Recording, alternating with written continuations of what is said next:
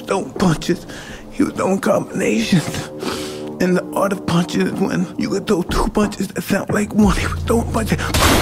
You can hear them. They were two, but they sound like one punch. You know how magnificent your speed has to be for that? That that you don't even know that about fighting, do you? That didn't even come to your mind to make what make two punches sound like one.